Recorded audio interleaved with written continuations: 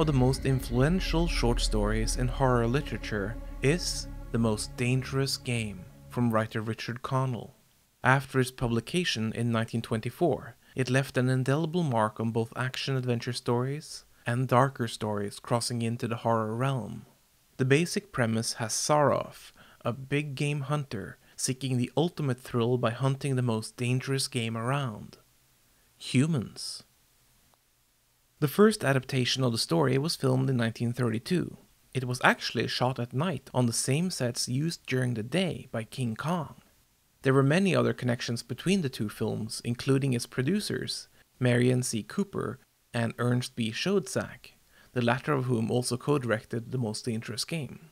Also, producer David O. Selznick was the studio executive shepherding Kong, and Kong leading actors Fay Wray and Robert Armstrong play substantial parts.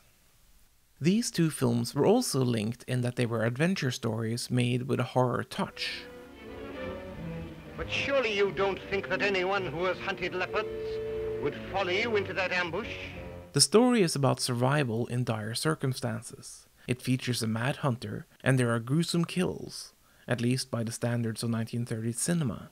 The film is included in several horror compendiums, but had it been released as is today, it would only be listed as an action adventure film, or at most a thriller. Despite this, The Most Dangerous Game is a fundamental and genre defying film in the history of horror cinema, and also, actually, for action cinema. The themes of survival and the reduction of characters from civilized humans to hunted animalistic prey has echoed through film history. Let's take a look at films that have been influenced by the short story, both those that fit in the horror realm and those that are more in the action or drama tradition. Let's start with non horror entries, as they tend to show their storytelling link to Richard Connell's tale the most. There have been several such films made, including A Game of Death in 1946, an early effort from Robert Wise of Sound of Music and The Haunting fame. Then there were a pair of films in the 1950s, the Richard Widmark thriller Run for the Sun and the low-budget Bloodlust. Several other low-budget films got in on the action, including Turkey Shoot in Australia. Then, in the 1990s, two action films were released within a year of each other. In Hard Target, the poor schmuck being hunted was played by Jean Claude Van Damme, which of course meant that he was extremely capable at fighting back. Thus, the hunters were the actual poor schmucks. It is worth seeing for Van Damme fans and John Woo completionists, and, as always, for the wonderful Lance Henriksen, but still, it's a minor effort. A few months later, Surviving the Game came out. It was also an action movie, one with a great cast, but it came a little closer to the original story in that Ice T wasn't quite as obvious a guaranteed survivor as the muscles from Brussels.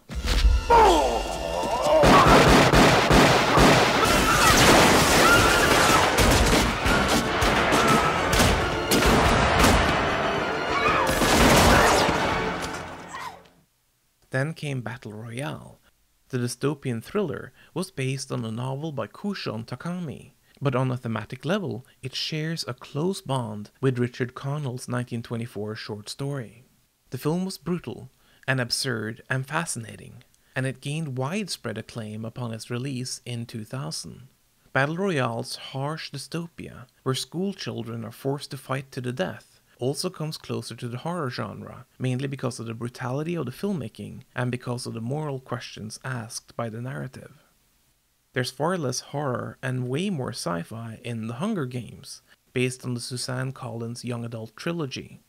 The films are also certainly dystopian. Teenagers are again hunted, this time for a game show and for political suppression. Speaking of suppression, Hunger Games was deeply criticized in some online communities as a ripoff of Battle Royale. That always annoyed me, as both films and the books they're based on owe a lot to the most dangerous game. Now, what I don't want is for people to go and say those films were rip-offs of the Richard Connell story, because that's not the point. Michelangelo wasn't the first artist to sculpt David, nor was he the last. Bernini had a stunning David statue as well, and the subject of David versus Goliath has been used by several artists in several mediums. So, what is my point? Simple art informs art. The most dangerous game created, or if not created, it at least established a new genre that worked both for action cinema and horror cinema. The new ideas Connell introduced inspired other artists to create similar stories, based on similar themes. But they aren't rip-offs, because the films now belong to a subgenre. We see similar stuff in regards to Frankenstein. Weird Science is also technically a Frankenstein story, and so are most tales of man creating robots. They are natural extensions of the tropes established by Mary Shelley. Another example of the phenomenon is Groundhog Day, which itself was a riff on the time travel narrative established in the story 1201. In recent years, the Groundhog Day plot has been cleverly reused in many films, including the brilliant sci fi film Edge of Tomorrow and the amusing Happy Death Day. But these new films aren't rip-offs, they are members of a newborn subgenre. With The Most Dangerous Game, we've had more time to ease into the subgenre it created. And hell, the story is essentially a hunting story made into a horror narrative, so it comes from a hunting origin. Now, let's look at the horror adaptations, the ones that clearly belong in the genre.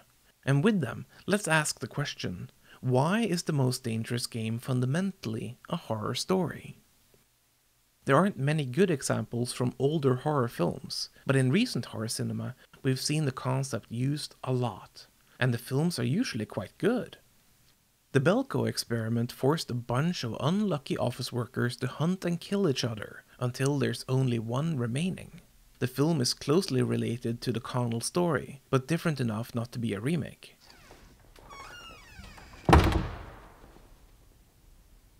Founder.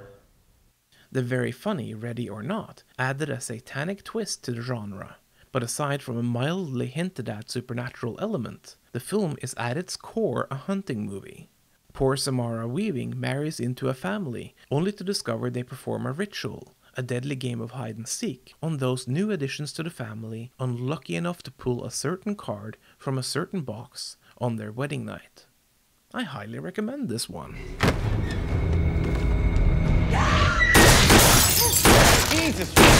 Another woman introduced to a messed up family situation can be found in You're Next. Here, the family is the hunted ones by forces from the outside. Similarly, there's the Purge franchise, which despite an underwhelming and under-budgeted first entry into the series, managed to take the concept and run with it on a societal level. It became an incredibly successful franchise, adopting the ideas from Connell's story, transferring them into a modern context. But despite some socio-political commentary, the Purge films tend to focus mostly on the hunting aspect, because it is a tried and true horror trope. The hunting genre is about people being hunted by someone evil. In the most dangerous game, it is Zaroff, a vaguely foreign sounding game hunter. And in the stories that followed, there's your fellow office workers, the in laws, the stalkers from outside, or society at large. The key word here is hunting. You know who else hunts humans? Michael Myers, Jason Voorhees, Freddy Krueger. Basically, add any iconic slasher killer whether human or undead, and their purpose is to hunt. The only difference between them and Zaroff is that Zaroff declares his intentions. He hunts humans because it is the most dangerous game. Myers and Voorhees and others hunt for different reasons, but they remain hunters. And they clearly have an advantage over their prey, until that prey starts hunting back, because they are the most dangerous thing to hunt.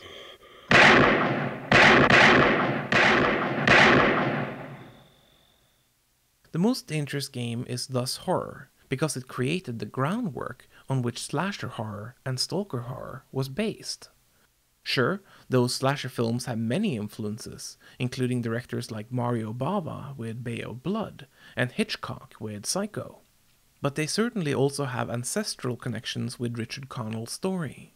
The idea of being hunted is a basic primal fear, whether you're being hunted by foreign people like Zaroff, or predators from space, or game show contestants, or in laws. It is a fundamental piece of human fear, one that predates the safety of modern living. And that is what horror cinema often seeks to evoke. It is the fear we felt in our past, from before we became the most dangerous things on the planet. This is a fear we can't leave behind, probably even a fear we shouldn't leave behind. Honestly, playing games of survival and being game for a hunter are a big part of who we are. To take that away from us would be to remove a massive part of our identity as mortal creatures. And similarly, to take the hunt out of horror cinema would likely kill the genre for good. We don't want that. So whether you prefer action or horror, or you like both, keep enjoying the most dangerous game and all its grandchildren. It is, after all, what gives life some zest. My name is Wolf Kraft. This is History of Horror. I'd sure appreciate you liking, sharing, and subscribing if you haven't already. Join me next time for episode 21 Mario Bava, Genre Maker. If you want to check out my other works, I am an author. My sci fi novel God of Desolation is available on Amazon, and my upcoming mystery novel Richly Drawn can soon be pre ordered from inkshares.com. Thanks a plenty.